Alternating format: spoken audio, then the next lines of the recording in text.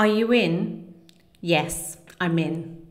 In our recent Flip the Script Mastermind group, we created a challenge, one that everyone could play along with, one where we could grow our business or what we're working on at the same time.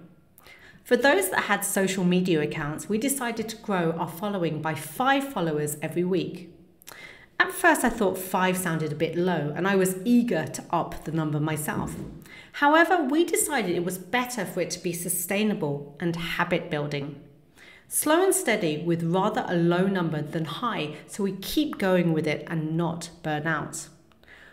One of the participants said, What happens if we manage to do it?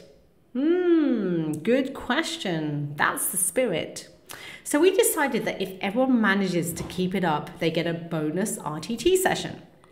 Great to have the accountability and some skin in the game for everyone to keep up. I must admit, I'm a bit of a gamer myself.